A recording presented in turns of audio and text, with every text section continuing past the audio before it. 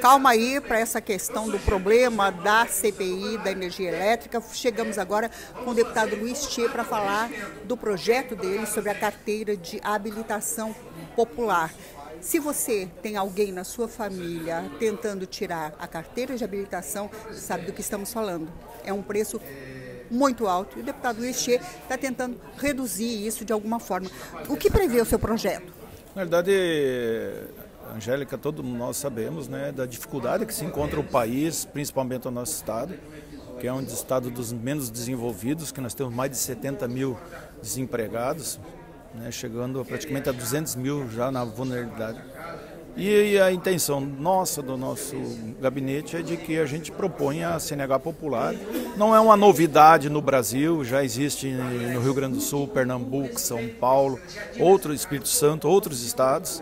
O Espírito Santo, inclusive, no, aliás, Pernambuco no ano passado pediu mais de 33 mil carteiras, totalmente de graça, para aquelas pessoas que precisam. E tem um dado do IBGE que ele diz que para você conseguir um emprego, 30% exige a CNH. E como é que a gente vai fazer com aquelas pessoas que que estão desempregadas, a família, o marido, a mulher, não tem, não tem uma habilitação? É uma forma que a Assembleia Legislativa, junto com o governo, pode contribuir para que a gente gere um pouco de emprego, porque você tendo a CNH, a oportunidade de emprego ela vai aumentar. Agora, deputado, quem seria, quem seriam os instrutores dessas pessoas que vão ter gratuidade? Ele foi colocar o copo ali, eu fui olhar. A gratuidade da CNH. Olha, as pessoas, as pessoas que, que, que têm condições, né? Que... Não, dos que não têm condições de pagar. Ah, não.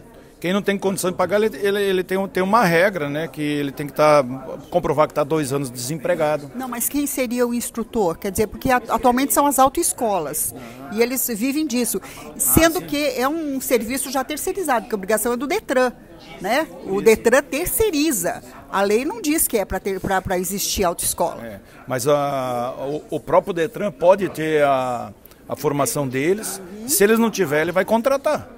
Né? Pode ser qualquer autoescola, e aí talvez numa licitação de alguma forma para poder fazer. Né? Então isso aí é muito tranquilo. Em outros estados o Detran tem. Alguns têm, outros não têm. Quando não tem, contratam uma autoescola para poder fazer o trabalho. Ou seja, não tem para onde correr. Tem que, tem que prestar o serviço e pronto. Mas, com certeza absoluta. Eu acho que isso aí é, é um dever nosso, né? De a gente estar tá contribuindo para a gente poder gerar mais emprego. Eu acho que é uma oportunidade que você tem de dar, dar para as pessoas a, oportunidade de, de você ter uma CNH. E a CNH popular, eu acho que ela veio para ajudar a construir isso. Muito obrigada, deputado Luiz Tchê. É, tá uma confusão lá no plenário. Vamos já correr para lá para ver o que, que, é. Eu acho que a, a coisa ainda é pegando a CPI da energia. Já já eu volto.